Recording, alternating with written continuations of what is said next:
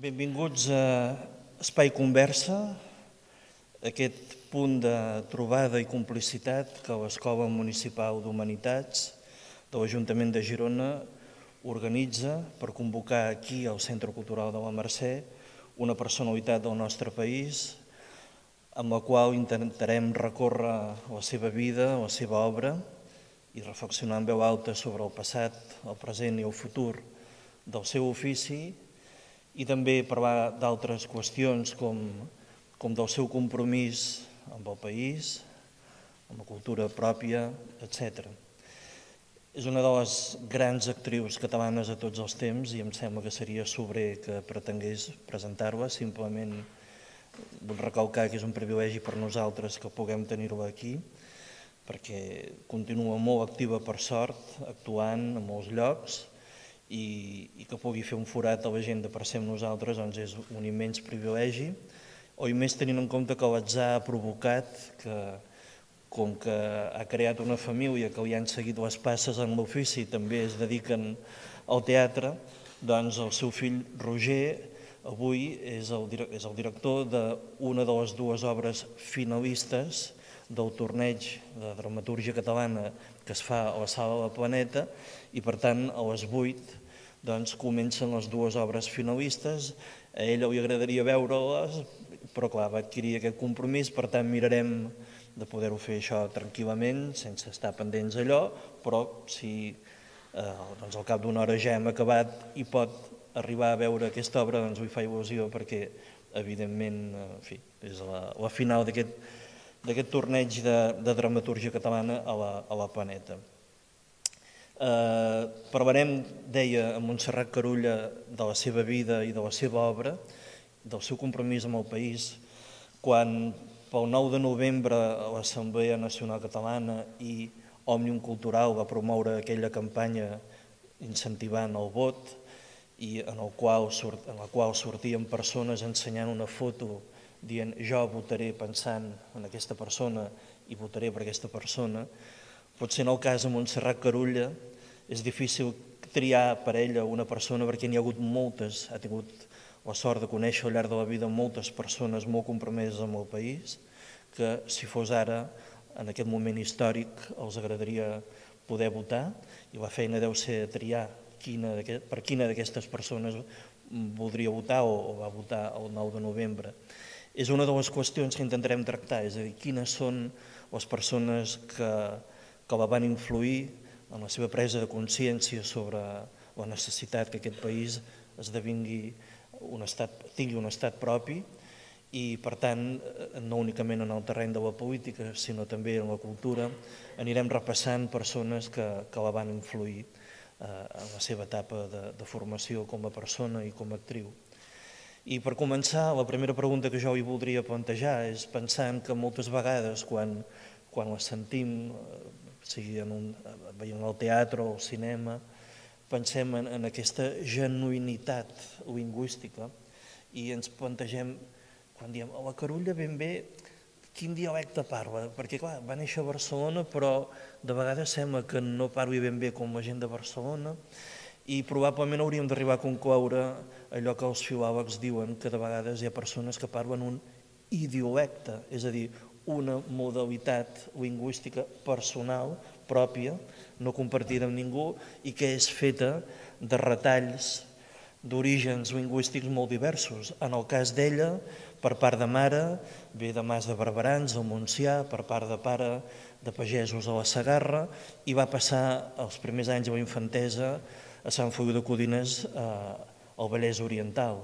Per tant, deu ser probablement una barreja de tots aquests aquestes variants o subvariants dialectals que devia sentir dels avis d'una banda, de l'altra, de Barcelona, del Vallès. Sens dubte, jo suposo que sí, perquè és clar està molt barrejat.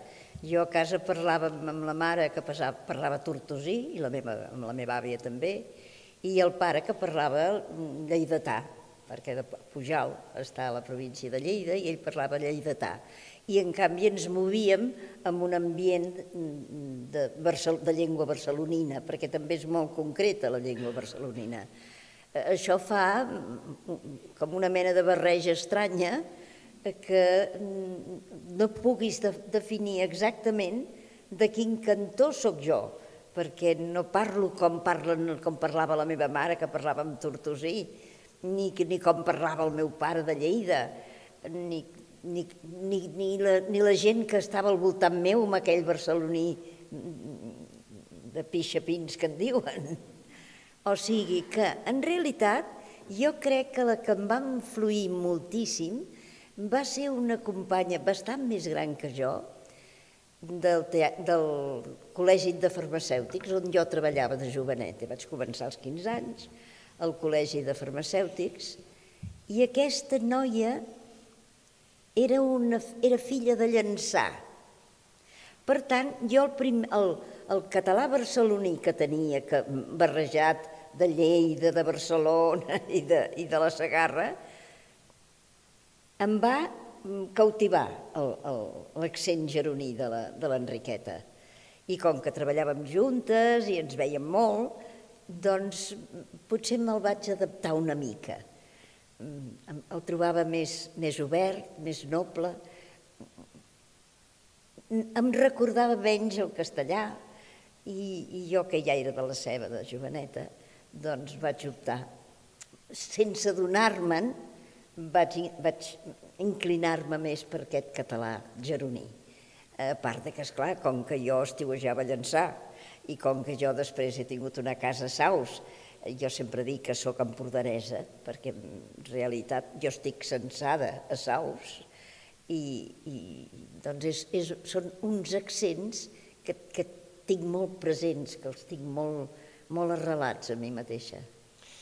Tot això també potser ens ajuda a entendre allò que Josep Pla, quan parlava de Josep Maria de Sagarra, deia en realitat, llegint Sagarra, és com si clavéssim l'orella a terra i sentíssim la terra.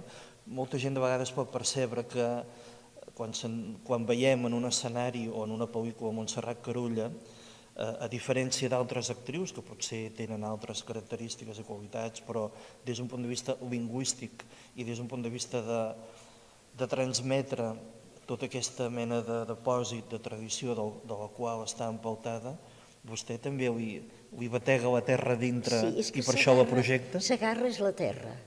Sagarra és molt de la terra. I, I aleshores, potser jo sóc una gran admiradora de Sagarra, he fet moltes coses d'ell, he llegit molt Sagarra, i notes que, és un, que és, la, la seva poesia és arreladíssima a la terra i per això a mi em commou. I, mira, jo aquí, sense anar més lluny, he pensat, si, si hi ha alguna cosa que pot fer entendre una mica el vers del Sagarra, és un tros que jo tinc en aquell llibre que vaig escriure, que diu Si t'oblides d'avui, de la febre que et priva de viure, que et crema la sang, veuràs la molsa del pessebre amb les figures de fang. Veuràs la muntanya segura, blanca de vents emblanquinats, amb la llum dels teus ulls de criatura completament desentelats. Si et penses sa l'estrella, no vagis baladrejant, humiteja't la parpella amb tres llàgrimes d'infant, ajupta fins als temps que eres infant. Aquest, aquesta poesia tan senzilla, tan entenedora, tan arrelada a la terra, per exemple, doncs és que fa que Sagarra sigui un dels meus poetes preferits, no únicament ell, Espriu m'encanta, Martí Pol m'encanta, etc. molts altres. Però Sagarra és la terra. Per mi Sagarra és la terra. Sagarra, que d'altra banda admetia que al llarg de la seva trajectòria poètica havia tingut molt influència de quan va començar anar amb més regularitat al port de la Selva, que sí, és molt a prop de Llançà, sí, sí, sí, i que per sí, tant eh, sí, sí, estem parlant sí, d'un sí. mateix univers a, I el cafè de, de la Creus. Marina també hi estava molt barrejat amb això, sí, sí.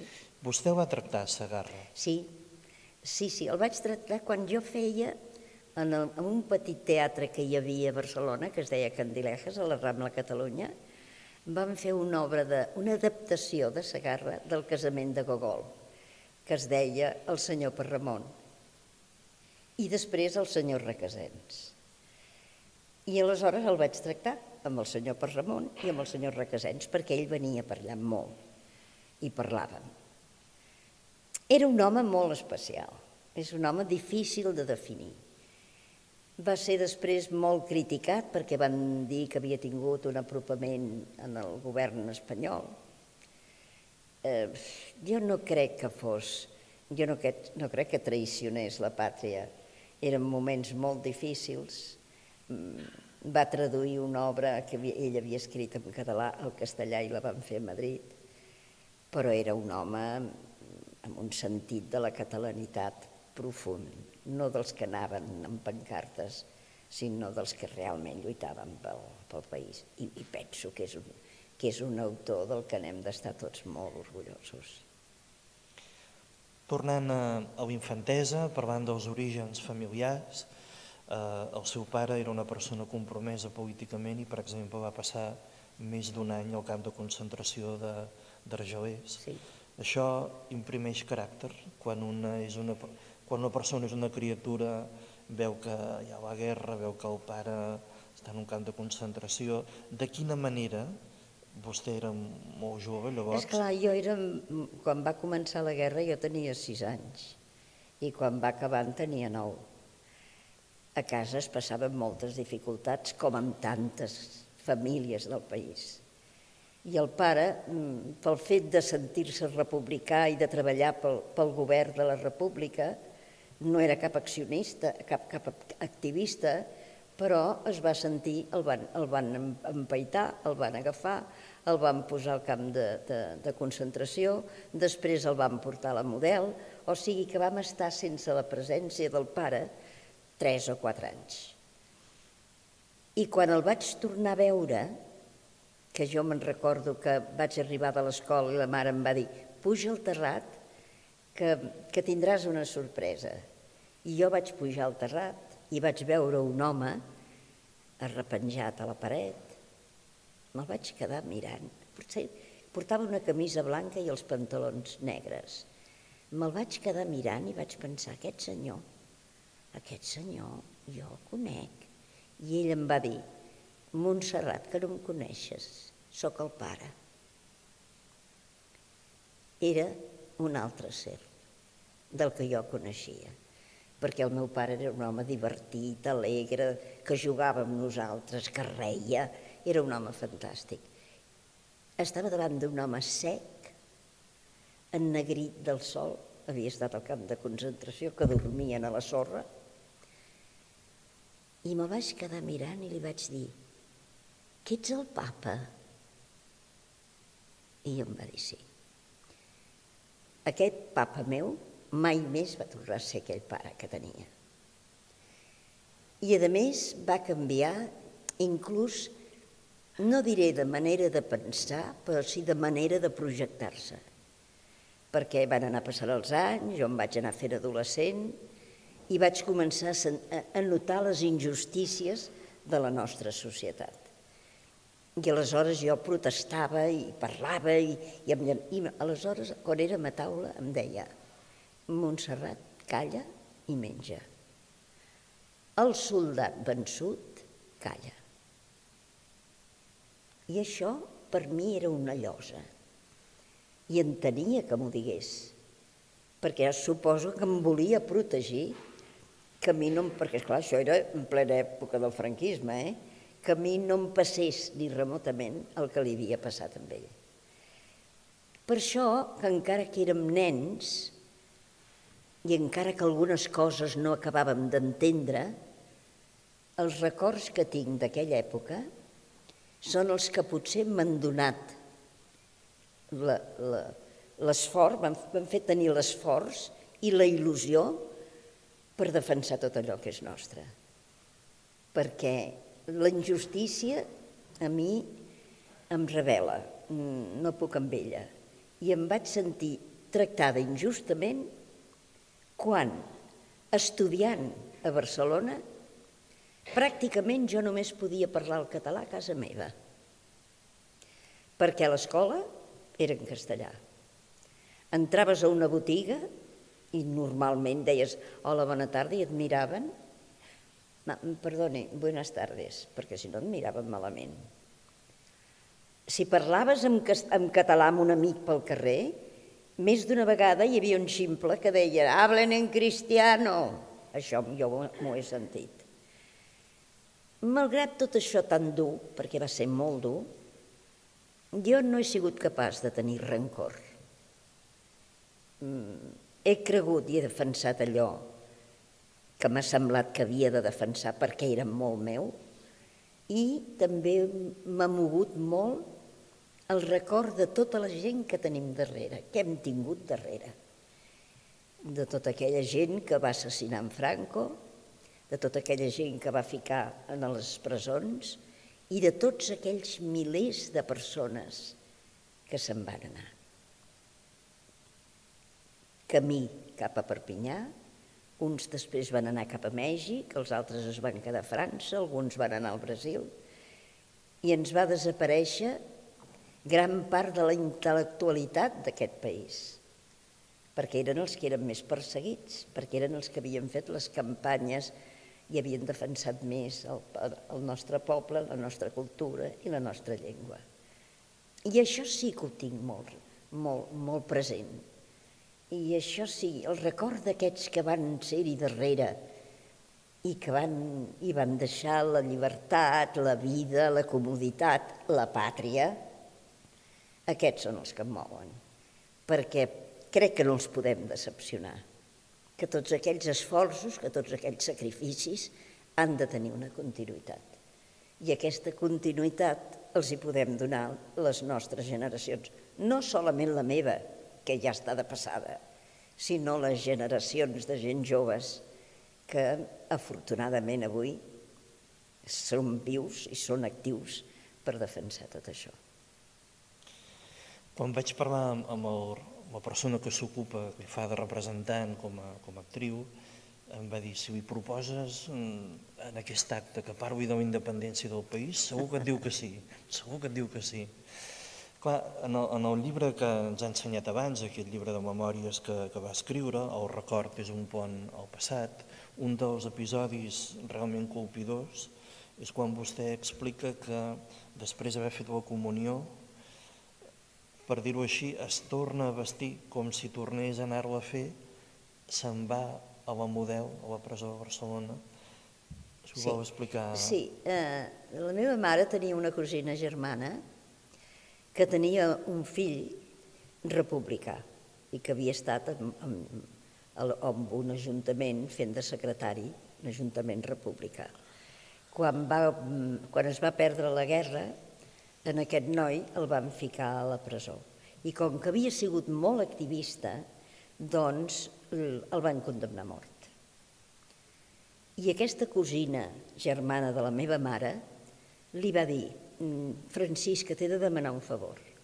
El meu fill l'han condemnat a mort, però han dit que eh, tots aquells que estaven condemnats a mort, si tenien una filla que, fes, que, hagi, que hagués fet la comunió aquell any, abans d'executar-los, els hi deixarien veure a la mare del condemnat si anava amb la nena vestida de primera comunió. Com que aquesta cosina de la meva mare no tenia fills, li va demanar, pot, podem fer que la teva filla, fer-la passar com a filla meva perquè així pugui veure, com, com a filla del meu fill, com a neta meva, perquè així pugui veure jo el meu fill abans que el matin? I la meva mare, que era molt generosa, li va dir sí. I em van tornar per, a vestir de primera comunió, que jo això ho havia fet, havia fet la comunió al maig, i això devia ser, no sé, el juliol, a l'agost, al setembre, no me'n recordo, i amb aquesta cosina de la meva germana, eh, de la meva mare agafada de la mà, ens en vam anar cap a la model. I és clar, tinc la imatge jo de la model, d'aquella plaça de la model, d'aquell d'aquell pati gran immens de la model, en blanc i negre, perquè estava ple de dones vestides de negre, acompanyades de nenes vestides de blanc. I aquesta, aquesta, aquest, aquesta imatge la tinc molt viva. Me'n recordo que hi havia, que hi havia com, dos, com dos barreres de ferro, a l'altre cantó van anar sortint els presos i van anar buscant les cares de les seves mares i es cridaven Joan, Joan, Joan. I, bueno, I aquesta dona va veure el seu fill i el va cridar. I a mi m'havia dit, mira, quan vegis, quan vegis el meu fill que et dirà ara, ara, tu digues papa, papa, perquè es noti que ets filla, que ets filla d'ell. I efectivament em va fer així, jo, papa, papa.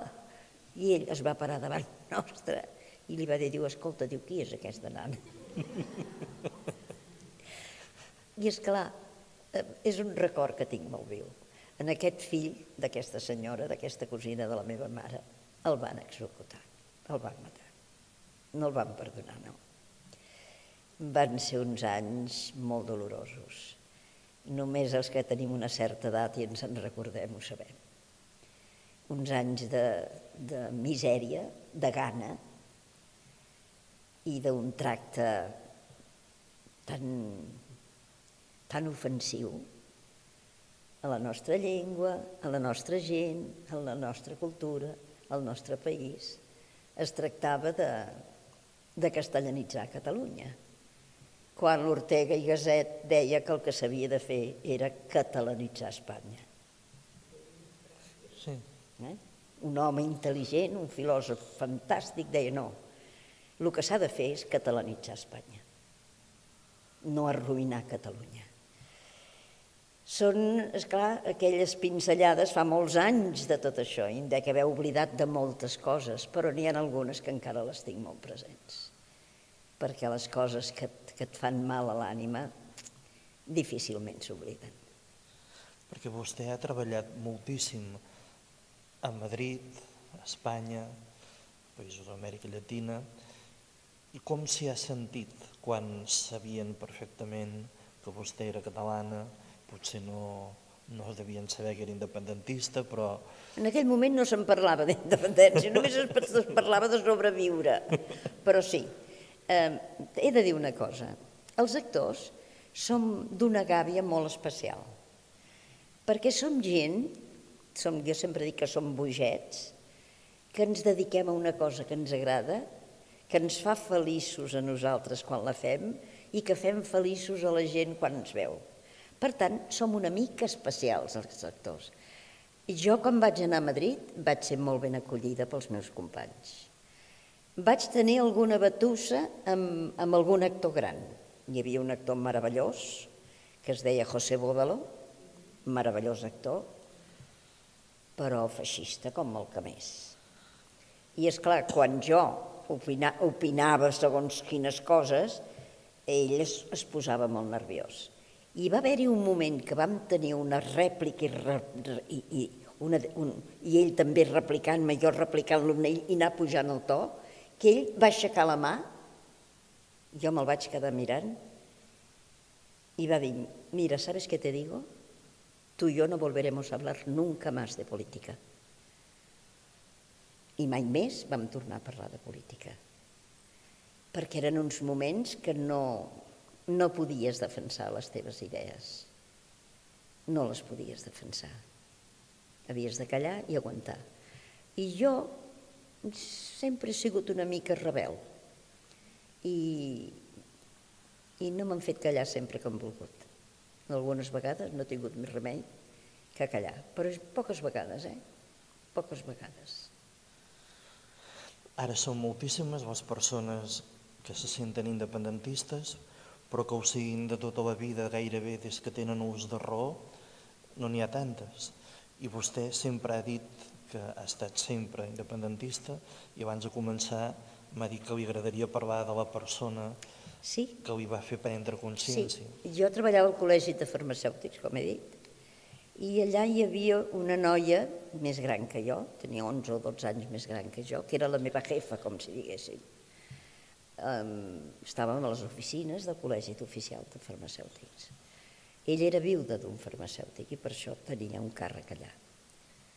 Aquesta noia era de l'Empordà i molt catalanista.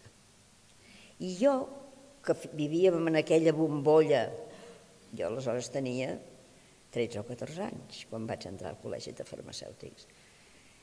En aquella bombolla que només era el castellà i el català a casa i amb algun amic i encara no pel carrer, com he dit, ella em parlava, ens parlava, perquè érem un, una, una quantitat de gent, de noies joves que treballàvem allà i que ell, ell, era, era el cap. I ella sempre que podia ens parlava de Catalunya, ens parlava del català, ens parlava del que havia fet aquell, de, de quins pintors, de, de, quins, de qui havien matat perquè era... O sigui, era la que em va començar a obrir els ulls i fer-me pensar per què ens passa tot això a nosaltres. I que em va mm, dirigir, o sigui, la, la, la meva curiositat a buscar llibres, a llegir i enterar-me què havia passat. I em vaig anar conscienciant. I per tant jo des de que era molt joveneta, des dels 16 o 17 anys, que era quan el meu pare em deia a casa no es parla de, de sopa, menja i calla que a casa no vull que es parli de política, jo ja em movia en el món de la política. I en general vostè quan era jove explica en el llibre que era una persona eh, insegura, vergonyosa, fins i tot abans em comentava que potser tenia una certa cap a la dislèxia. Sí. Eh, I en canvi moltes persones que l'hem vist al teatre, al cinema, gairebé sembla que no, no ens ho puguem sí. creure, no? Sí, com... doncs sí, jo era, era dislèxica. Potser una dislèxia molt aguda no, però dislèxica ho era, perquè jo recordo que deia les paraules al revés molt sovint, o que volia, canviava el concepte, volia dir una cosa i en deia una altra. I un dia llegint un, el noticiero universal, que sempre dic que era l'única cosa llegible que entrava a casa, perquè el comprava el meu pare, i jo també me'l repassava, perquè curiositat sempre n'he tingut a la vida, vaig veure un anunci que deia que hi feia una conferència per parlar de la dislèxia. I jo vaig pensar, què deu ser això de la dislèxia? I vaig mirar un diccionari que corria per casa i vaig veure la definició de dislèxia i vaig pensar, ai carai, si això és el que em passa a mi. I vaig anar amb aquella conferència i vaig arribar a la conclusió que, és clar, que jo era dislèxica i que havia de lluitar contra això. Mm, a mi em va ajudar molt, molt el teatre, perquè jo estava tan acomplexada amb això de que canviava les paraules, de que volia dir una cosa i en deia una altra, que generalment gairebé no parlava. O sigui, vaig estar com, mig autista, com diguéssim. No parlava perquè tenia por d'equivocar-me, de dir una paraula que no, que no volia dir allò que jo volia dir. Però a l'entrar al teatre i al començar-me a estudiar els papers i al memoritzar-los, dir-los bé, vaig pensar, jo mateixa vaig pensar, si sóc capaç de dir sense confondre les síl·labes i sense canviar-les unes paraules que m'he estudiat, he de ser capaç de poder parlar sense por, perquè jo parlava amb por, amb por d'equivocar-me. I aleshores tenia, d'això sí que me'n recordo, com una mena de cinta que em passava pel cervell, perquè jo abans de parlar meditava allò que havia de dir. És com si veiés una pel·lícula que deia és això el que he de dir, i a continuació això, i a continuació. Però vull dir que no embrullava natural, embrullava sempre depenent d'aquesta cinta que em passava, que em feia parlar d'una determinada manera. Amb el teatre això ho vaig solucionar, perquè al memoritzar i veure que era capaç de parlar com parlaven els demés, tota aquella por de parlar per no equivocar-me eh, em va passar. I jo al teatre li dec moltes coses. Vostè, ja de jove, era conscient que era una persona que es va avançar al seu temps i com a dona, per exemple, el fet que acabés fent una, estudiant una carrera, eh, que, que primer fos potser autodidacta, constant, tenaç, que es forgés una carrera com a actriu i que, doncs això, s'intuïa que tenia dislèxia, busqués el diccionari, anés a una conferència. És a dir, aquest seu caràcter eh, inquiet, Mm, i tenaç li ha forjat una, una personalitat? No sé si m'ha forjat una personalitat. El que sí sé que he tingut una cosa que considero que és bona, una gran curiositat per les coses. Mm, saber. Eh, jo, a mi no m'importaven eh, si, si teníem privacions, si menjàvem cada dia llenties o guixes, a vegades hi havia cucs, si menjàvem molt poc, si el pa era moreno, tot això no m'amoïnava. Hi havia una cosa que sí que m'atreia molt, que era escoltar la gent que parlava molt bé i que era la cultura. I aleshores vaig començar a demanar a algú que, que, que, que tindries un llibre per deixar-me llegir i em deixaven llegir un llibre. I jo llegia aquell llibre i aprenia coses. La meva àvia em donava 10 cèntims cada setmana i jo me'ls guardava. I un dia vaig veure, anant pel carrer Diputació cap a l'escola, un balcó que deia «Se venden libros». I jo vaig pujar. I vaig dir, perquè m'havia estalviat uns quants, aquells 10 cèntims que em donava la iaia, me'ls havia anat estalviant. I vaig pujar i vaig dir, dic, vostès venen llibres? Sí. És que jo voldria comprar un llibre, perquè a casa només hi havia el noticiari universal, ja els he dit. I em van dir, quin llibre vols? I jo vaig dir, no ho sé vostè mateix. Aquell home li devia fer molta gràcia, aquella nena de 12 anys, de 10 o 12 anys, que volia un llibre i que no sabia quin llibre volia.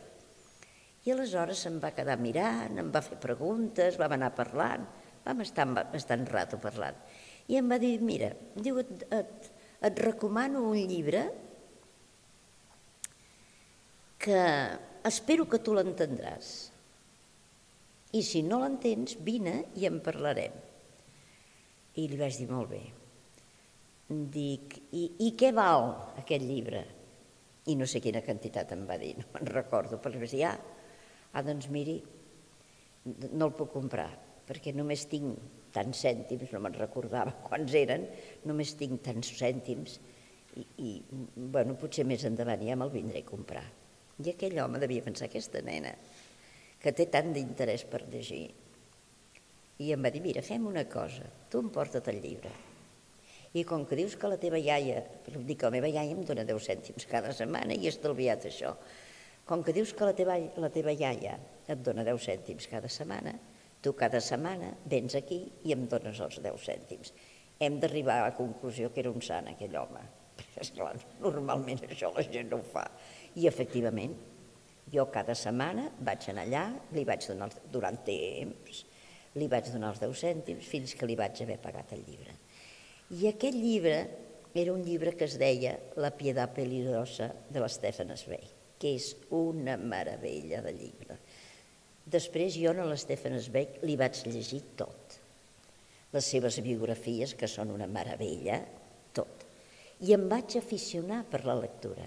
I jo crec que el que a mi em va anar molt bé va ser llegir moltíssim. Jo crec que em va també humanitzar, em va fer entendre la gent, eh, els, els, els defectes i les qualitats de la gent. I em va també ajudar eh, potser a ser generós amb la gent, perquè de vegades pensem molt en els nostres problemes i no pensem que hi ha gent que els té molt més grossos els problemes que nosaltres. A, a mi la lectura em va humanitzar molt en aquella època que després jo em rebel·lava també contra moltes coses perquè havia llegit molt i sabia què hi havia darrere de tot allò. I a, a mi el, llegir, inclús ara, que puc llegir molt poc, per cert, perquè no tinc temps, perquè, esclar, només treballo com una desgraciada, com una desgraciada no, perquè sóc molt feliç de fer-ho, però vull dir que tinc poc temps per llegir. Ara, com que diuen que em retiro, que he dit que em retiraré, però que no sé quan em retiraré, perquè resulta que la iaia la farem fins l'abril i després ja veurem què passarà. Però sí, ara penso, bueno, ara quan et retiris podràs tornar a llegir com t'agrada a tu. La lectura ha sigut molt important per mi. I el teatre em va facilitar això, donar-me confiança a mi mateixa i de persones que s'han anat trobant al llarg de la vida que la poden haver marcat o influït fins i tot al mateix carrer on vivia n'hi havia el cas concret del periodista i escriptor Manuel Ibáñez Sí, Escofet i del sí. músic Eduard Toldrà. Sí, és que, és clar, nosaltres, la me- nosaltres vivíem en una porteria i a mi en determinades hores em tocava estar baix al quiosco. I jo més que al quiosco m'estava al carrer mirant la gent, perquè ja he dit que de curiosa n'he sigut molt sempre. I pel carrer passava gent, i hi havia uns que passaven cada dia a la mateixa hora, que em, que em van cridar l'atenció.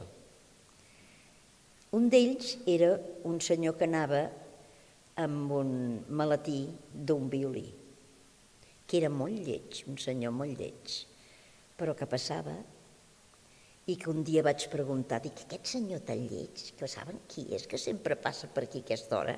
Passava aquella hora per allà, perquè anava a Ràdio Barcelona, que estava una mica més avall, i era el moment que ell tocava unes peces a Ràdio Barcelona. I em van dir, home, és un gran violinista, que es diu Toldrà, és que toca a l'orquestra de Barcelona, en fi, bueno, molt bé. I jo el veia passar, i va arribar un moment que ja ens saludàvem, perquè jo estava baix, ell passava, jo me'l mirava i em va fer així un dia, i ja l'endemà jo li vaig dir, passiu bé, passiu bé, adéu nena, o sigui, ens vam fer amiguets. Després n'hi havia un altre que passava, que jo havia conegut, com mossèn Tàpies. Mossèn Tàpies és un capellà que va tenir una gran importància també en la meva vida. Amb, com que jo recitava i anava pels, pels hospitals dels nens i recitava i els, llegia coses i tenia una gran afició, mossèn Tàpies em va dir, mira, saps què?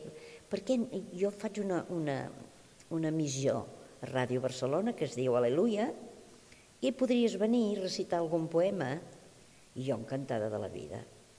Anava a Ràdio Barcelona i, i recitava i allà vaig conèixer un senyor que es deia Ibáñez que treballava a Ràdio Barcelona. I que després passava per davant de casa i jo li deia adeu senyor Ibáñez, adeu maca, adeu molt alegre, un home encantador. I un dia va passar amb, un, amb una, com una bufandeta blanca al coll. Adéu nena, adéu nena, més trist. Un altre dia va passar que ja portava com, un, com una mena d'esparadrap aquí i que ja deia bon dia nena, bon dia nena, que quasi no parlava. El senyor Ibáñez, el que jo adorava, perquè era un ser adorable, es va morir. Va tenir un càncer de gola i es va morir. I clar, és un d'aquell, una d'aquelles persones bones, generoses, amables, que jo m'estimava i que em va fallar. Ens va deixar abans d'hora.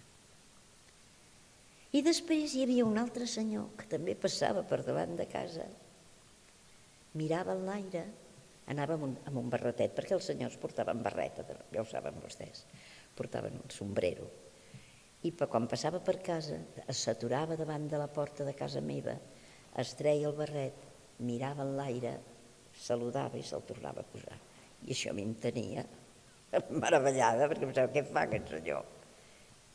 I un dia vaig preguntar amb el Joan, que hi havia un colmado al costat que es deia Joan, dic, escolti'm, aquest senyor, vostè sap qui és?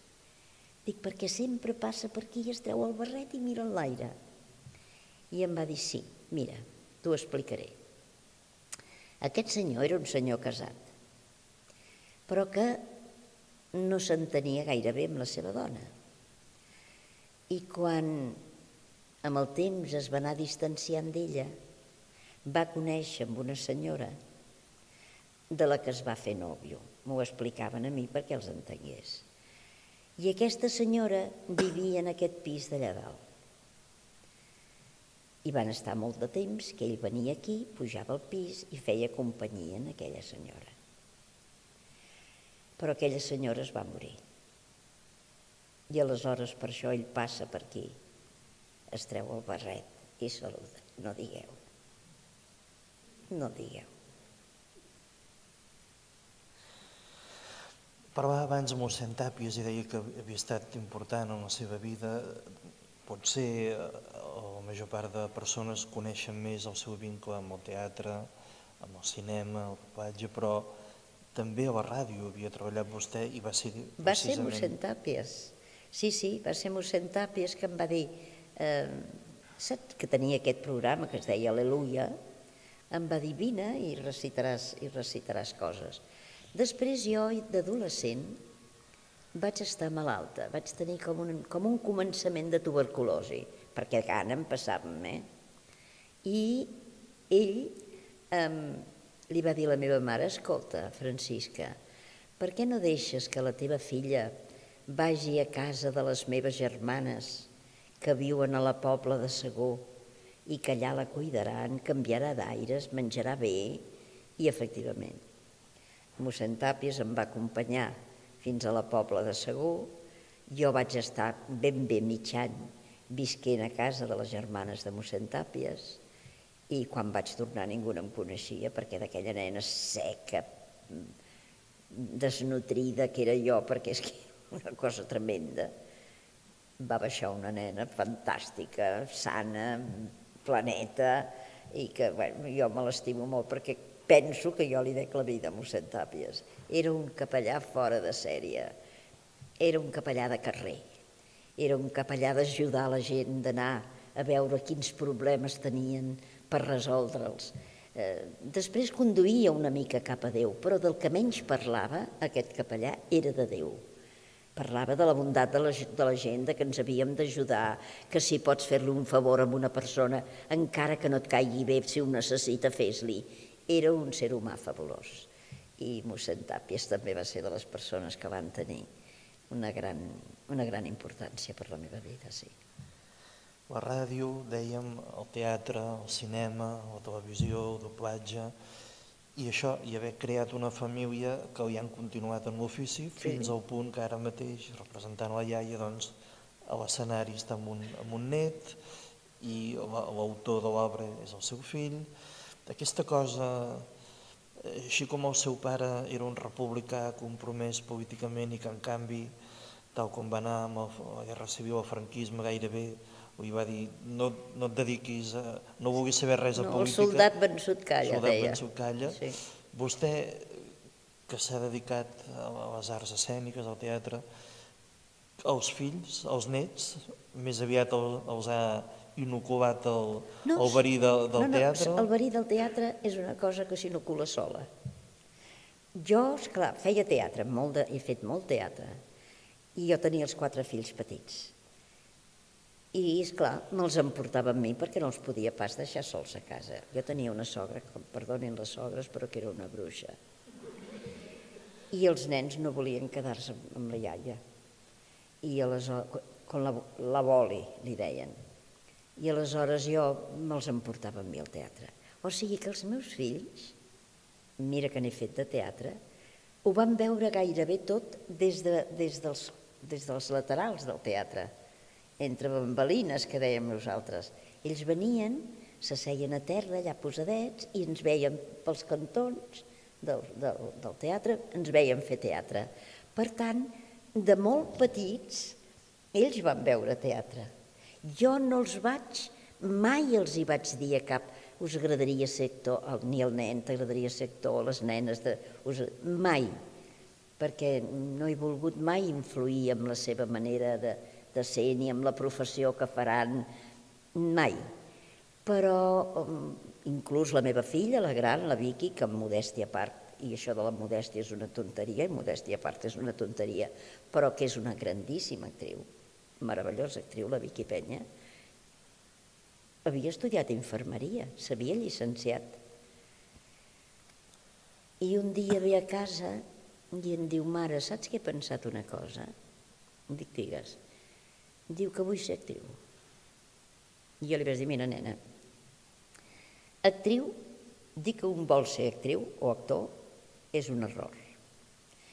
Tu primer has de saber si ets actriu. I si ets actriu, podràs fer d'actriu. Però si no n'ets, per molt que vulguis, no ho faràs mai bé. I si no has de fer bé, millor que et quedis a casa. Fes, fes teatre amateur. Fes amb gent i fes, vés amb ells fes teatre amateur i sempre aprendràs alguna cosa. I efectivament, ella va fer això que jo li vaig dir. I un dia em va dir, mira, estem fent una, una funció, per què no la vens a veure, mare? I vaig dir, molt bé, i vaig anar. I vaig pensar, mira, doncs es defensa. No era res de l'altre món, però es defensa. Al cap d'un temps em va dir, ara, ara faig amb en Salvat una obra de teatre que faig un paper més important, mare. I vaig anar. I aquell dia ja la vaig aprovar amb nota. Vaig dir, sí, sí. M'ha sortit actriu. Perquè a mi, com que jo havia, havia viscut en companyies on hi havia grans actors, que tenien fills que volien ser actors i que no paraven i que el pare o la mare els ficaven i que eren horrorosos i que els pares o les mares no sabien on ficar-se de vergonya però dissimulaven, a mi sempre m'ha fet terror, per això també amb l'Aleix, amb el meu net, el dia que va dir que volia ser actor, dic ara ja hi som. M'ho va dir el meu fill, diu, l'Aleix vol ser actor, jo ja hi nen. Dic, mira, i per, per la iaia, diu, i em sembla que, fa, que estarà molt bé fent el paper del, del teu net. Dic, oi, nen. Dic, escolta, el primer assaig et diré si ho fa o no ho fa. I si considera que no ho ha de fer, considero que no ho ha de fer, no ho farà. Molt bé, mare. I va venir. I ho va fer. I va dir, mira, m'ha sortit un net actor, perquè és molt bon actor. I era la primera cosa que ha fet, eh? Havia fet alguna cosa amb l'Institut del Teatre, però personatge de debò i de responsabilitat el primer. Doncs, en fi, estic molt satisfeta, perquè hi ha un, un actor, un, un noi que és actor i que fa d'actor i que no li roba el pa a ningú, perquè jo sempre quan veig aquests actors tan dolents, que els veig en alguns repartiments d'algunes obres, que són vergüenza ajena, que diuen els castellans, dic que aquest dia està robant el puesto amb un bon actor que s'està a casa seva sense treballar, i això és immoral. Però el, el net no, el net m'ha sortit actor. Sí, sí. Abans comentava que els actors són gent una mica especial, Diuen que els empordanesos tocats per la tramuntana sí. també. Vostè, a partir del moment que va anar a llançar, actriu i a prop de la tramuntana... Tocadíssima per la tramuntana, sóc jo. Trucadíssima, però és fantàstica que la gent de l'Empordà estiguin tots una miqueta bogets per la, per la tramuntana, perquè també la persona que és una mica boget i que és somiadora també sura una mica i acostuma a ser generosa amb els demés. I això no ho dic per mi, ho dic en general per la gent de l'Empordà. Jo a l'Empordà he trobat gent meravellosa, he sigut molt feliç allà, i vaig anar per casualitat, perquè el Terenci Moix, un actor que ja està bastant oblidat, però que, és, que va ser molt bon actor, un dia... Escriptor, es, ai, actor, escriptor. Un dia em va convidar a passar un cap de setmana en una casa que tenia Ventalló, i jo hi vaig anar. I per cert, no he passat mai més fred de la meva vida que en aquella casa. Gelada. Em, em vaig ficar al llit vestida, un fred horrorós.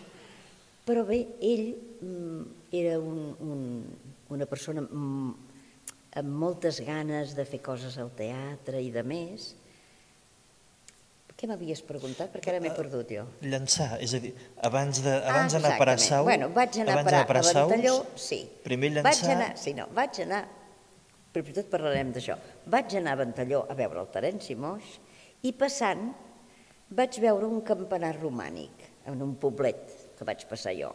I com que aleshores jo estudiava Història de l'Art, perquè això sí que ho tinc, als 40 anys vaig començar a estudiar una carrera, vaig pensar, aquest, aquest campanar deu ser de l'any 9 o de l'any 10, del segle IX o del segle X.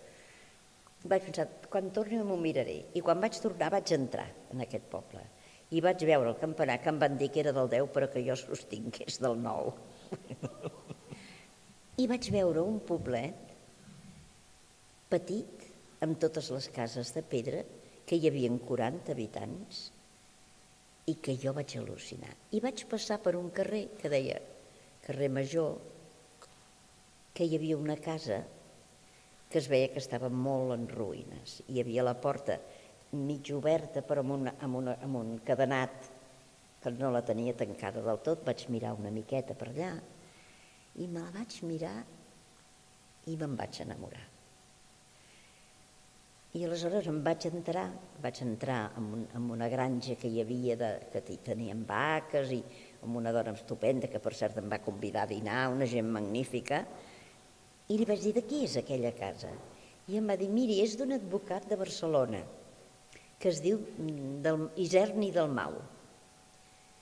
I jo aleshores em vaig, em vaig preguntar amb un procurador que, que ell tenia i em va donar l'adreça del senyor Isern i del Mau, que era l'amo d'aquesta casa que estava mig en runes. I vaig anar a parlar amb ell. I em va dir, li vaig dir, miri, jo vinc per, perquè m'han dit que vostè és el propietari d'una casa que hi ha a Saus, que està molt en, en ruïnes, però que és molt, la façana estava estupenda, molt maca. Dic, però que a mi m'agradaria, si vostè se la vengués, comprar-la.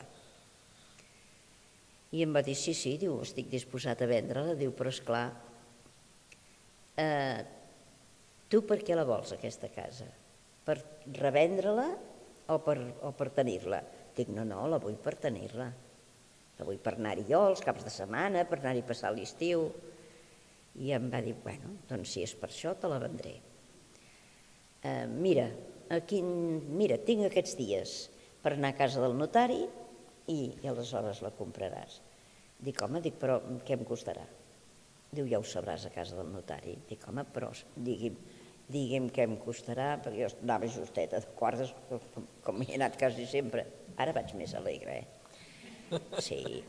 Dic, dic digui'm més o menys què em costarà. Diu, no, ja t'ho dirà el notari. I jo vaig anar al notari amb una por horrorosa, perquè en aquells moments jo havia mirat cases a Ventalló, i a Ventalló valien 500, 500 50.000 pessetes, 50.000 pessetes d'aquella època. Jo vaig pensar que fins a 50.000 pessetes potser podria comprar-me-la, però més no, per això volia saber què em costava. I em va dir, ja ho te n'entraràs a casa del, del notari. Bueno, i vaig anar a casa del notari, va llegir tota l'escriptura i aleshores, quan va arribar el moment de, de, de, dir-me la quantitat, em va dir pel preu de 50.000 pessetes, que era un regal absolut. O sigui, que el senyor Isern va posar aquella quantitat i aleshores jo li vaig dir, escolti, moltes gràcies, senyor Isern, perquè vostè m'ha fet un regal. I ell em va dir una cosa molt maca i que jo em permetreu que faci la xuleria d'explicar-vos. Em va dir, miri, vostè m'ha fet molt feliç veient-la al teatre. Per tant, és un petit agraïment, aquesta casa que li venc, com vostè diu, molt barata, és un petit agraïment pel feliç que m'ha fet vostè a mi. I és clar, aquest, això s'ha d'explicar, eh? Ara si em deixa explicar una anècdota, jo fa uns anys vaig tractar amb en Guardiola quan, uh -huh. quan encara no era entrenador i era el capità del Barça i buscava una casa per l'Empordà i m'explicava que no hi podia anar ell, perquè si anava ell, ho hi pujaven el preu Clar. multiplicat per 10, si ho rebés que vostè, i havia d'enviar-hi algú altre eh, sí. perquè no sabessin que era en Guardiola. Per tant, ell, que també com a jugador havia fet passar molt bons moments, sí. segur que no hauria trobat ningú Clar. que li baixés el preu, en canvi vostè sí. Jo el vaig trobar, jo el vaig trobar, sí, sí. En tot cas, què li sembla? Acabarem tenint una llista única i, haurà, i serà vostè i hi haurà en Guardiola? No sé si seré jo, si em conviden i estaré encantada de la vida encantada de la vida. A més, quasi els hi demano, perquè m'agradaria molt ser-hi. De moment no m'han dit res. Però jo penso que si anem units, que si Esquerra i Convergència es donen la mà, essencialment aquests dos, i els altres també s'hi ajunten, Iniciativa, la CUP, tots fan una, una llista unitària, ens en podem sortir. Amb les llistes separades em fan una mica de por, perquè aleshores ja surt... Perquè ha de ser una llista de país, ha de ser una llista per defensar que Catalunya ha de ser un estat independent. I per això es necessita molta força. I si uns ja diuen sí, però nosaltres som socialistes, i aleshores hem de parlar de que el socialisme, i els altres no, perquè nosaltres venim de, de Guillem el el pilós, perquè comencen totes aquestes coses, no ens en sortirem. O sigui, s'han de donar la mà i fer el camí tots junts. Si no fem el, la llista unitària, jo ho veig difícil, perquè difícil ens ho posaran, no ens facilitaran res. Eh? Unitat, ha d'haver-hi unitat. Vostè que, que ha participat en molts actes, en l'Assemblea Nacional per l'Alt Empordà i que, i que ha deixat clar explícitament que, malgrat que vol tenir temps i, i vol continuar fent eh, els escenaris, encara que no siguin obres de teatre, altres muntatges i tot, però dic que prioritàriament els anys que li puguin quedar els vol dedicar a això i de fet eh, va a fer conferències a pobles petits. Sí. Realment creu que ara hi ha un moment que o s'aprofitarà o no serà? Per exemple, vostè en el, en el seu entorn familiar, els nets, els fills que li han seguit en l'ofici, també nota que hi ha una unanimitat en la independència o de vegades... Mm, unanimitat no n'hi ha. N'hi ha uns que són més apassionats, els altres que en són menys i els altres que estan al marge. Vull dir que s'ha de dir. Com ho hem de fer per acabar-los de tombar? Mm, que, que ells ho vagin veient perquè a mesura que van pensant i que van veient també van, van modificant-se. Però jo tinc, tinc fills i tinc nets i, tinc, i uns són més apassionats per, per, per, per aquest, tot aquest procés nostre, uns més que els altres. I el que no pots és, és intentar a la força convèncer-los, perquè en l'amor només et mou l'amor, i si l'amor no hi és, és molt difícil que arrossegant algú. Mm, em trobo amb, fills molt defensors de la independència i, amb, i altres que diuen, com que en tinc quatre, doncs esclar, hi ha qui diu, home no, però, però per què no hem d'estar units a Espanya?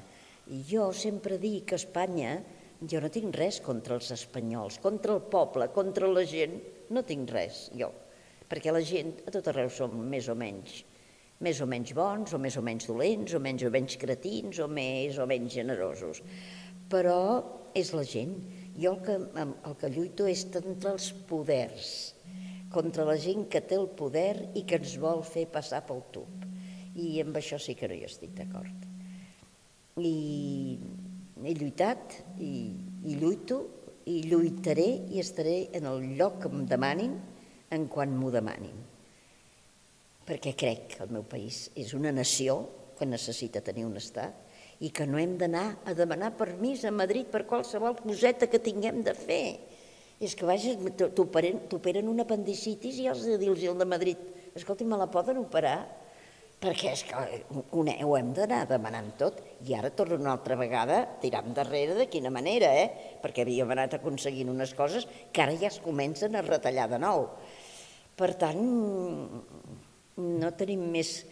Espanya, Espanya s'està enfonsant.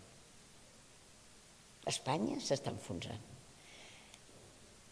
Els grans, les grans multinacionals, els, mirem-lo de la duquesa d'Alba, sense anar més lluny.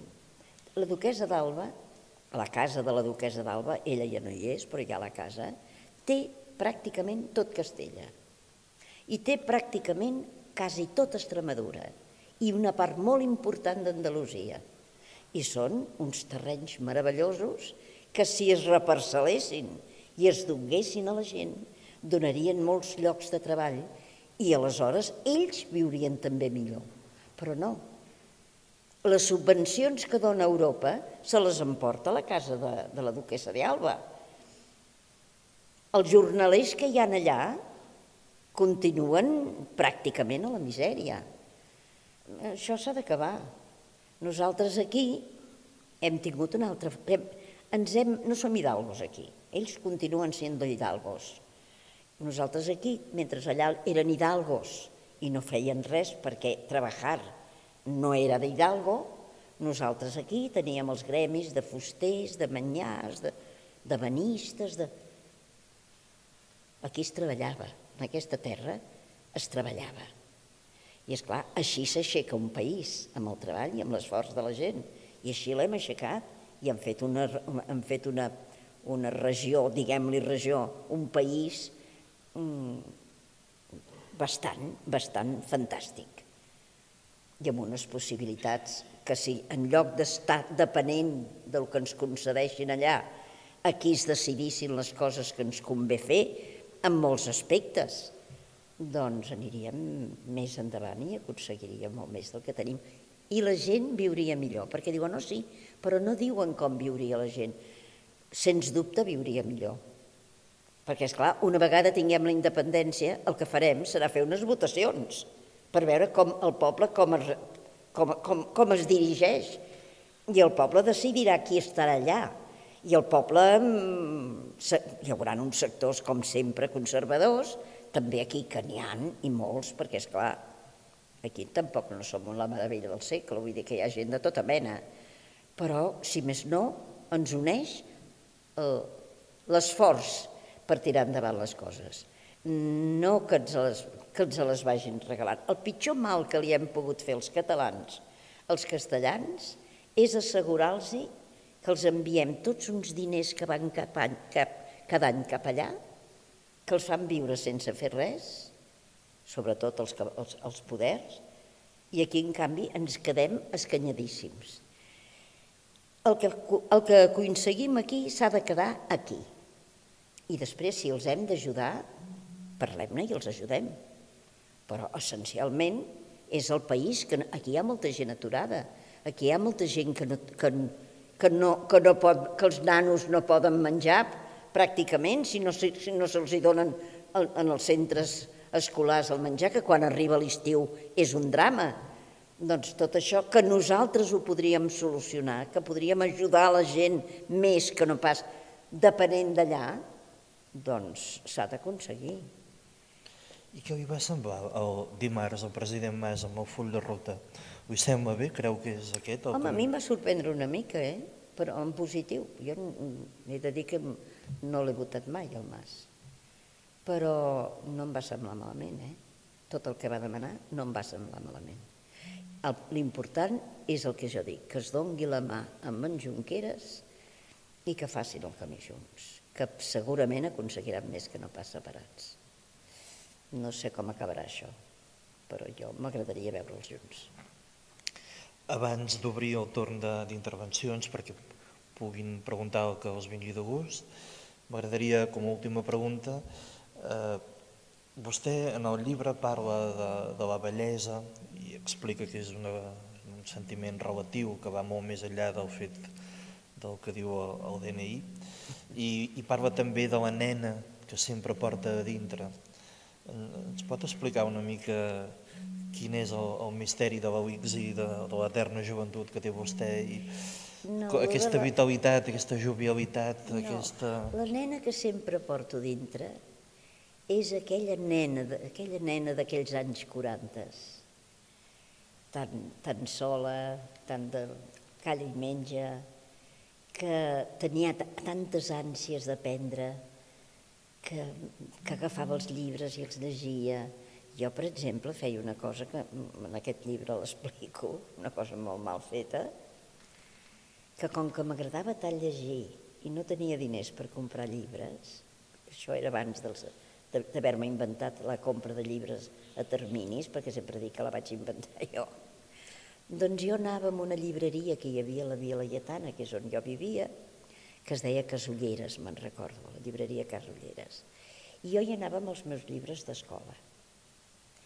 I com que m'agradava molt la poesia, i anava pels llocs perquè em cridaven, els hospitals de nens i de més em cridaven perquè hi anés, jo agafava i posava els meus llibres, mirava, primer tot mirava a veure quins, quins llibres de poesia hi havia.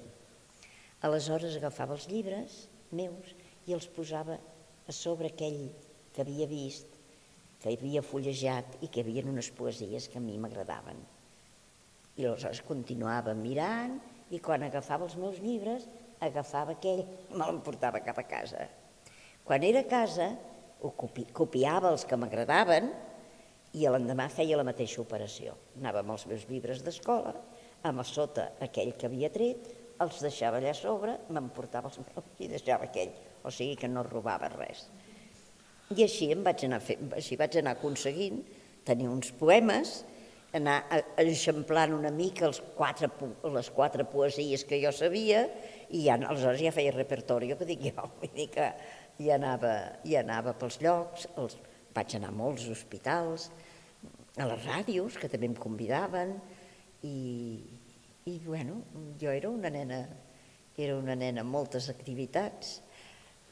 També tinc aquella anècdota que tinc, que de vegades explico, no sempre, com que jo anava a Ràdio Barcelona i llegia poemes i de més, un dia va venir una escriptora que es deia Cecília Mantua, amb una altra amiga, i va, em va dir, escolta'm, a tu no t'agradaria fer una obra de teatre? I jo vaig dir, a mi sí. Doncs escolta'm, mm, parlem-ne i, i, perquè hi ha un paper d'una obra que, que jo he escrit que el podries fer tu. Jo dic, ui, el papa no em deixarà, perquè el meu pare, les actrius, eren cosa horrorosa, segons ell. I va dir, ja hi parlaré jo amb el teu papa. I va anar a parlar amb el meu papa. Jo no sé què li va explicar, però el va convèncer. I aleshores feien una obra que es deia Bajo el cielo mexicano, que es va estrenar al Teatre Nou de Barcelona, al Paral·lel. I jo vaig començar-lo a assajar, el vaig, el vaig, va arribar el moment que feia un magicà, feia un magicà, cantava una cançó. I bueno, i va ser un èxit increïble. Doncs d'aquí em, em vaig posar de nom, perquè jo no tenia encara els 14 anys, i abans dels 14 anys no es podia treballar. Aleshores em va fer passar amb el carnet de la meva germana, o sigui, amb la, amb la partida de bautisme de la meva germana, que tenia dos anys més que jo. I com que la meva germana es deia Rosa, el meu nom artístic era Rosina Dòria. I bueno, i vaig començar a fer. Però aleshores em vaig trobar, com que hi havia molt, que era una, una, una, una òpera musical per frívola, em vaig trobar que hi havia les coristes, que allò era un desmadre.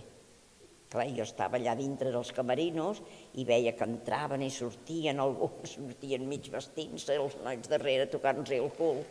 I per mi va ser un impacte tan horrorós, jo que era una nena de, de comunió diària, que em va agafar una depressió, que em vaig clavar en una cadira i no em movia de la cadira. I la meva mare, aquesta nena, què li passa?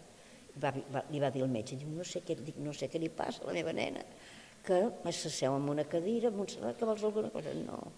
Que vols que no? Per què no anem al cine? No. I, bueno, i aleshores el metge li va dir, escolti'm, aquesta nena el que té és una depressió. I va dir, bueno, i què fem? Diu, miri, tregui-la de casa, porti-la en algun lloc, bueno, i aleshores ens vam enterar que a l'Ametlla del Vallès hi havia un casal de les madres visitadores, em sembla que es deien, i jo vaig anar al casal aquest que eren unes monges de, que vestien de paisana, anaven de monja. I és clar allà era també de comunió diària, jo. I aleshores vaig dir, jo he fet teatre i he vist aquelles, aquelles dones amb els pits al l'aire i davant del, del, de l'altar amb l'hòstia consagrat allà vaig jurar amb un paper, vaig escriure i li vaig deixar els peus dient mai més tornaré a fer teatre. Juro per Déu que mai més tornaré a fer teatre. doncs em vaig tornar a fer. I aquí som. Si volem, si volen des d'allà pujar els llums, així que m'agradarà molt veure'ls i la cara, I així, quasi no els hi veia. Si algú vol fer alguna pregunta, algú vol algun aclariment... Aquesta nena que vol ser actor, actriu, aquesta nena deu tenir alguna cosa que dir. Què li recomanaria? Què li rec... Abans de començar em penso sí. que ja li feia alguna recomanació.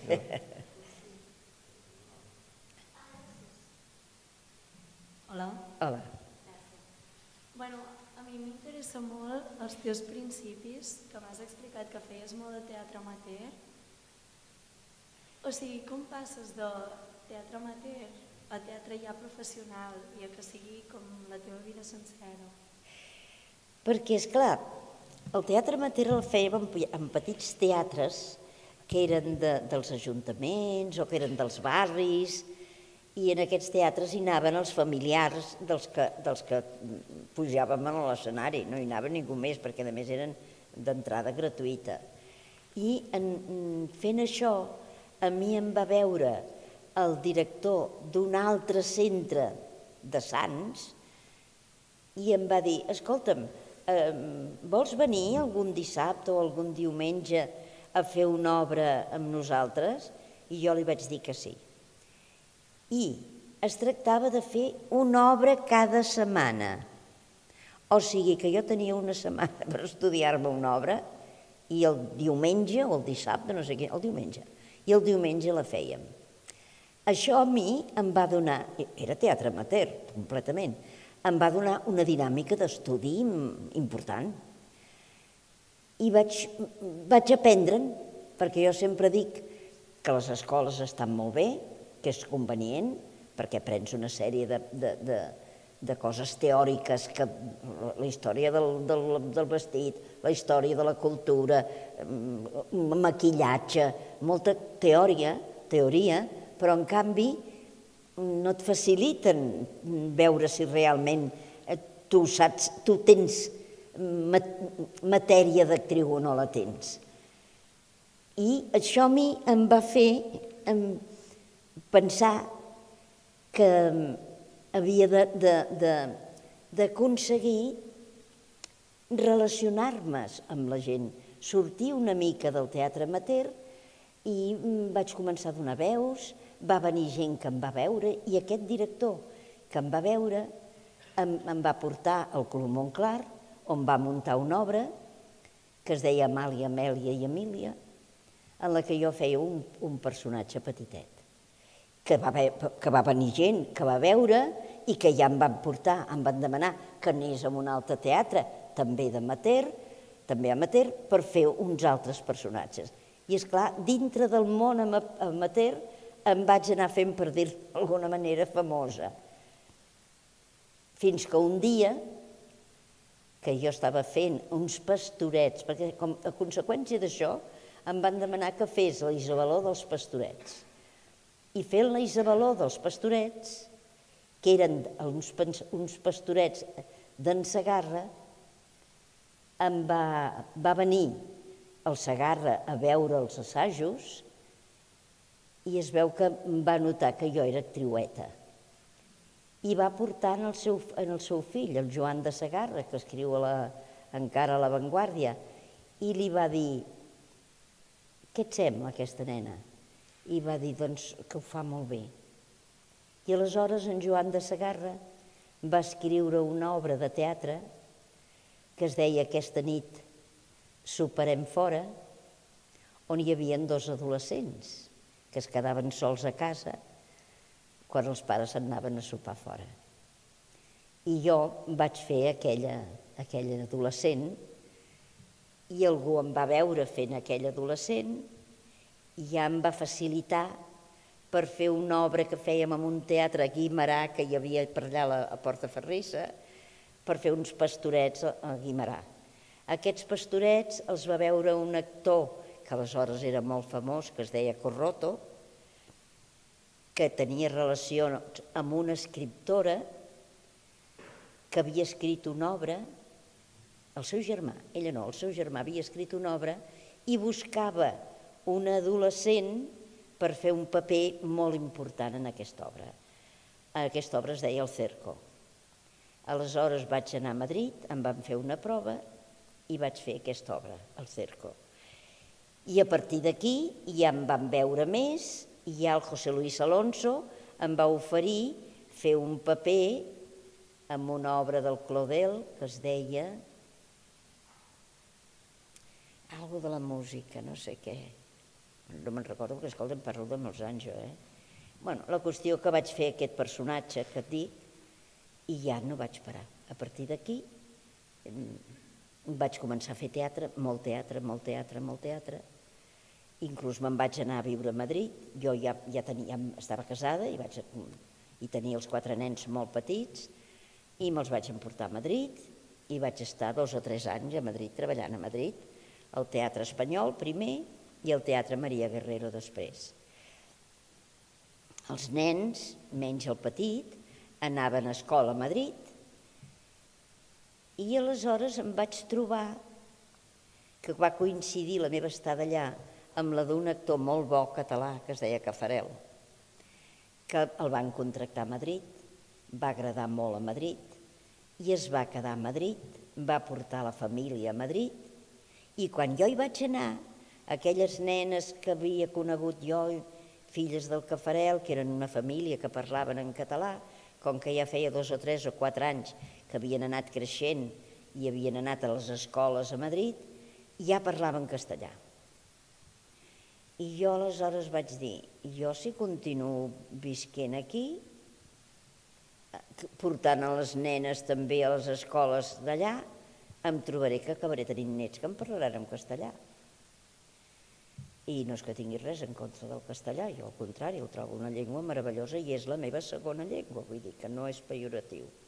Però vaig pensar que volia que els meus nets a mi em parlessin en català.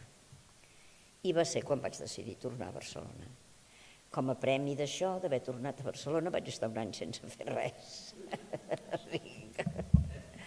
Però bé, després, al cap d'un temps, doncs ja vaig tornar també a treballar. A part d'això, vaig estar un any represaliada també, perquè jo m'havia casat amb un actor, fantàstic actor, Felipe Peña, que, és el pare, que era el pare dels meus fills, però que com a matrimoni no van funcionar. Ell era d'una manera, jo era d'una altra, i va arribar un moment que jo vaig decidir separar-me. I em vaig separar. I jo que feia molta televisió, molta, el meu, el meu primer marit era molt amic del director de Televisió Espanyola a Barcelona. Es deia Marroquí, aquest senyor. I aleshores aquest senyor, no influït pel meu exmarit, que era molt senyor, era incapaç de fer-ho això, va decidir represaliar-me. I va dir, doncs ara no farà més televisió aquí i així, com que no podrà tirar endavant ell amb quatre criatures, tornarà amb el seu home. Però la Carulla és molt tossuda.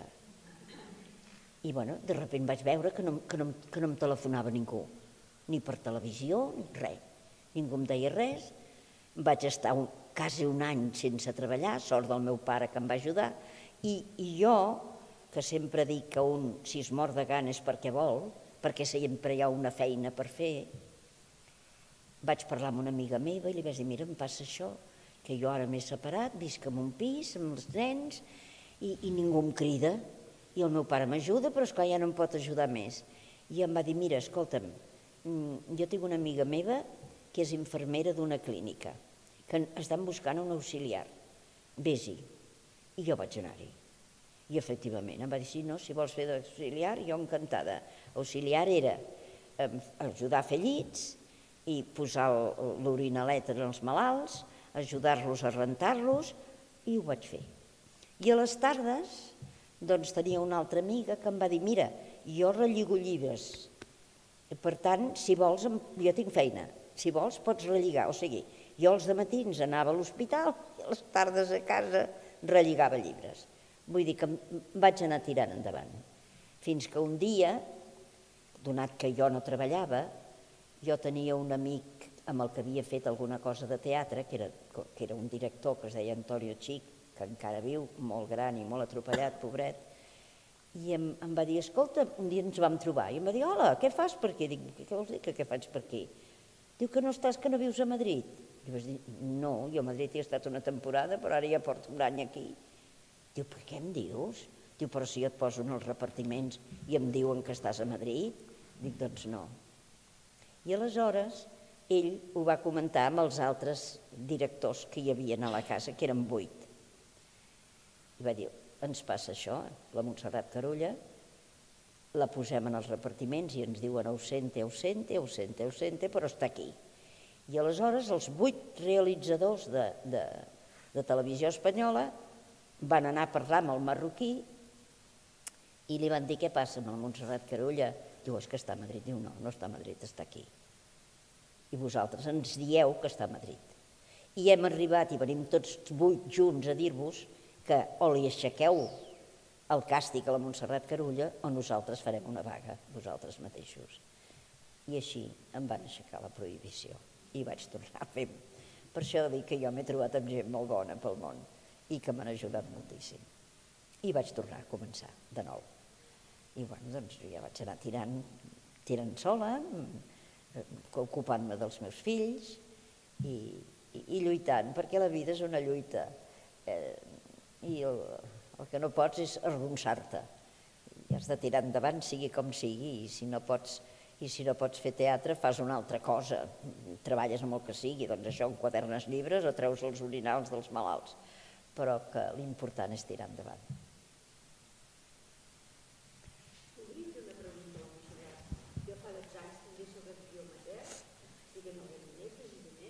Ah, està molt bé, està molt bé. El grup es diu Plus 65 perquè tots som grans. I per, volia preguntar, tècniques de memorització, cadascú té la seva? O hi ha altres... Suposo que sí, que cadascú Com deu... ho fas per memoritzar? Mira, un memoritza quan té memòria. Ah, evidentment. Jo ara, per exemple, em trobo amb dificultats, les coses com siguin. Primer estudiar, eh? Perquè memoritzar és estudiar, és allò, Evident, evident. estudiar.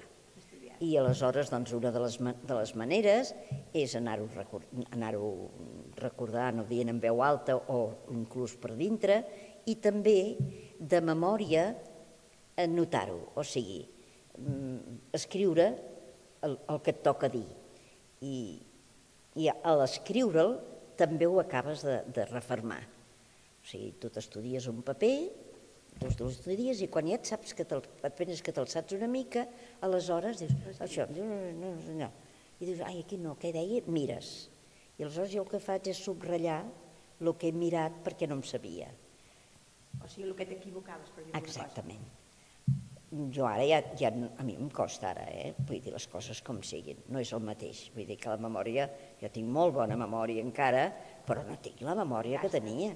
És que jo em llegia una cosa un parell de vegades i me la sabia, Memòria fotogràfica. però, però, però absolutament. I ara m'he d'esforçar i, i, i a més ja dic que no em vull fer més perquè no vull patir. Perquè és, aleshores ja és que mm, ho fas patint, vull dir, a veure, ho faré bé, me'n recordaré, tindré un lapsus, no el tindré. Et comences a desconfiar, a no tenir seguretat amb tu mateixa. I sense seguretat no pots fer res. I jo dic, no, jo ara més teatre no en vull fer. Perquè no, mai he tingut un fallo, allò de dir, mm, m'he m'he- quedat en blanc una vegada, després us ho explicaré. Però vull dir que jo sempre m'ha respost molt bé la memòria i no vull, no vull jugar-me-la. Jo sempre dic que per això, per això em retiro, perquè em vull retirar en sense, en sense haver viscut angúnies o sense que realment em facin fora. Per culpa teva, algú altre. No, i que jo ho he viscut. He treballat amb grans actors que després han allargat més, el, més del que podien aquesta feina i que ens han fet patir molt. Perquè, és clar, els veies dubtant, equivocant-se, quedant-se en blanc. Tu miraves de solucionar-ho, però que tothom patia moltíssim. Jo dic, no, jo no vull que els meus companys pateixin amb mi. No vull. I, bueno, el que passa que estic fent la, la iaia, que és una obra que parlo bastant, però que, bueno, la vam assajar bastant temps i, i ja, bueno, l'hem feta tant que ja no pateixo, però que els primers dies jo patia moltíssim, eh? Moltíssim. Però, esclar, el, els anys passen factura. Realment no hi ha unes regles, eh, que no. Mm, Cadascú vols dir que no, cada crim, no? no, bueno, això d'escriure't el paper quan ja te'l saps una mica, que- gravar-te'l gravar i escoltar-te. Jo, per exemple, doncs, molta, vaig fer una obra que es deia Pigmalió, en una versió del Joan Oliver, del Pigmalió del Bernard Shaw, que, que parlava moltíssim, i jo el que feia, va, em vaig gravar, i aleshores em posava la caseta a la tauleta de nit, me l'enxufava aquí, i m'adormia escoltant-lo, i això m'ajudava moltíssim. Hi ha molts truquets, el d'escriure també, el d'escoltar-lo. Sí, hi ha, hi ha truquets per anar, per anar tirant endavant. I una vegada es va quedar en blanc? Només una Ah, vegada. sí, va ser tremend. Estaven fent, bueno, en, aquell, en aquells moments feien uns bolos amb el Capri, perquè jo vaig treballar amb el Capri, amb el Capri fèiem bolos per Catalunya. I fèiem quatre obres diferents. O sigui, en un lloc fèiem una, en un lloc, altre lloc, quatre obres diferents. Per tant, eren diferents vestuaris i eren diferents eh, decorats. I un dia, fent una de les obres, l'escenari generalment hi havia en un cantó com una tauleta mm, rodona on hi havia un, una, no sé, un cendrer o no sé què.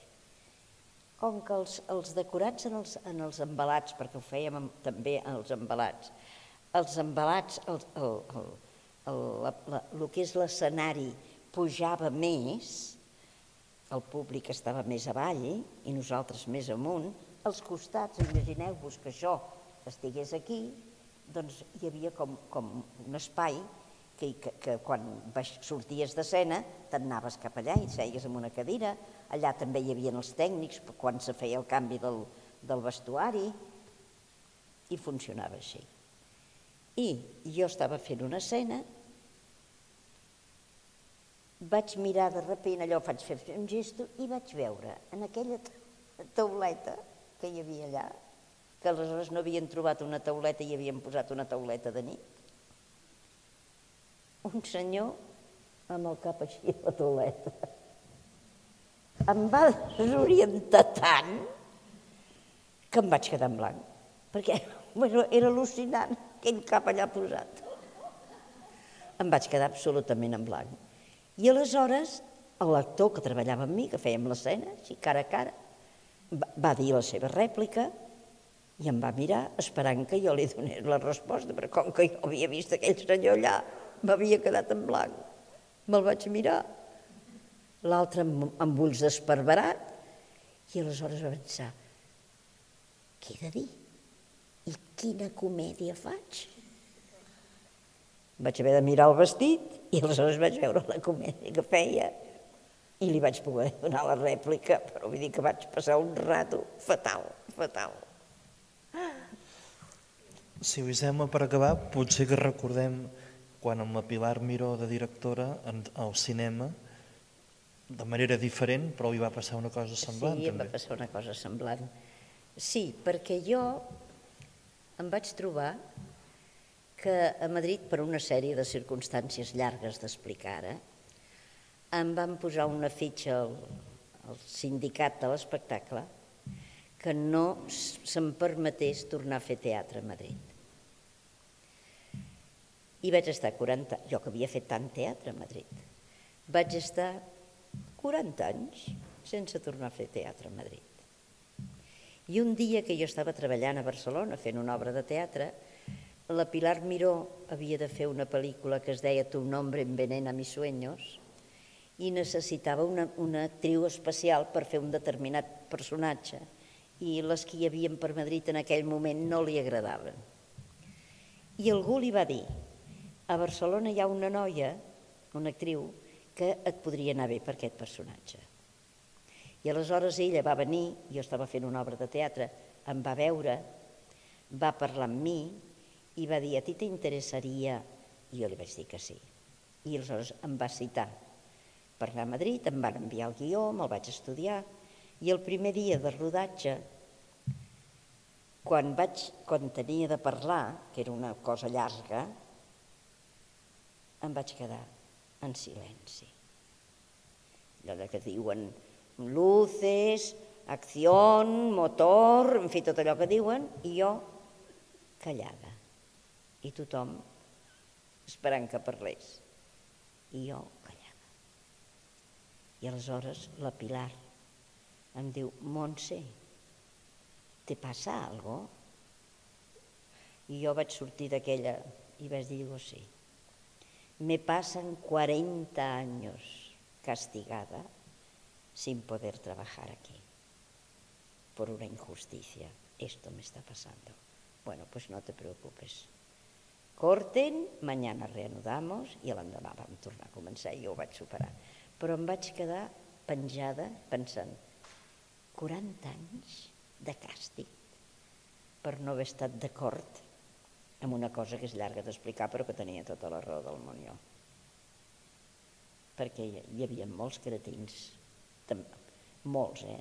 El franquisme, en aquell moment el franquisme dominava totes les, totes les professions i, tota, i, i ho dominava tot.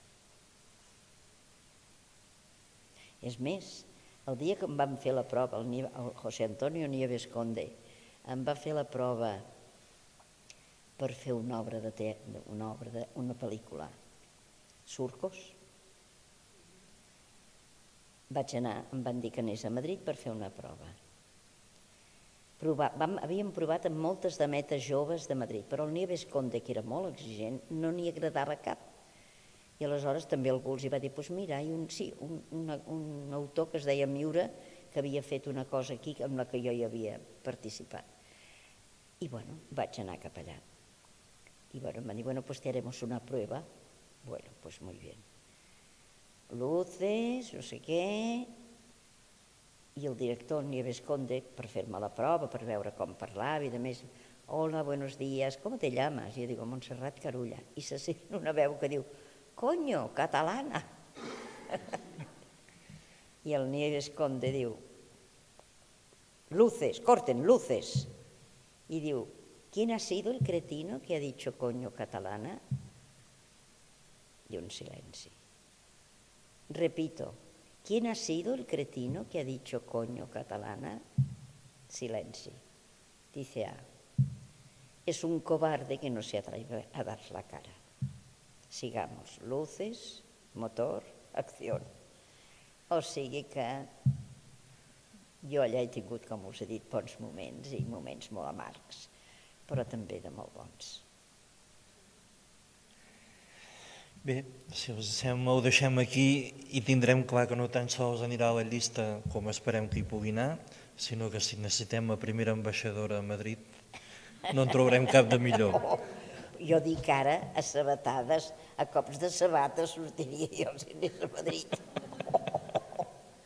A cops de sabata, escolta'm el Roger que vol fer la iaia a Madrid i dic, hauràs de buscar una actriu a Madrid, nen, perquè jo puc, puc arruïnar la vida.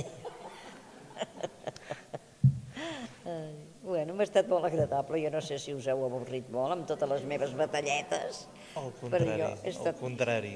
Eh? Sí, això és cert. a més de la pietat perillosa, perillosa Sí, bueno, és que he llegit tant en aquest moment algun que em vingui al cap. A veure, ui, és que són... O potser... Home, sí, bueno, el del Cabré. Um, el jo confesso? El jo confesso. El vaig haver de llegir dues vegades, eh? El vaig haver de llegir dues vegades perquè el vas llegint i dius, i ara on sóc? I ara quina època és? Per què em diu això? Per què em parla d'allò?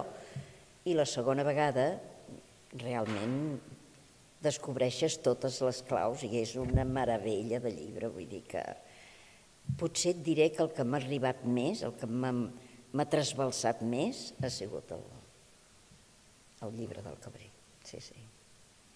I, i l'obra de teatre o la pel·lícula que la, li ha remogut més coses L'obra de teatre,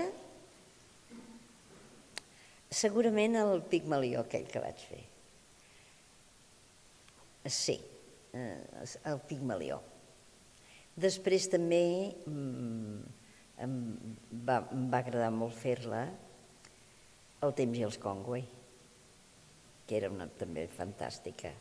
I també molt, molt, molt, molt, de les tres obres que puc dir, quasi totes, tot el que he fet, afortunadament, he fet coses que m'han agradat. No perquè jo les hagi triat, és que mai m'han ofert una porqueria, mai, ningú. Tot el que m'han ofert ha sigut. Però, a més del, del, de la filla del mar, i els temps i els Conway, i el Pigmalió, aquestes per mi són les tres obres que he fet més a gust. Després n'he fet moltes que també he disfrutat molt fent-les, però les que m'han fet sentir més feliç són aquestes. El Pigmalió el van fer per tot Catalunya, mm, en homenatge amb el Pere IV, perquè era una versió d'ell, amb el que jo vaig tenir molta amistat i, i, i sempre tinc el plaer de recordar-lo com un ser meravellós, meravellós. I potser aquestes tres, si em tingués de decantar per alguna, separar-les no les puc separar, eh? Totes tres són les que més m'agraden. Doña Música, que també feia amb una, amb una obra de Paul Claudel, que no me'n recordo com es deia, La carroza, algo de la carroza, que també em va agradar molt fer-la. Aquesta també la van fer a Madrid i aquí i a, i a Catalunya la van fer al Liceu a Barcelona, també. N'havia fet molt de teatre jo. Ara no en vull fer més perquè una ha de ser conscient de les seves limitacions.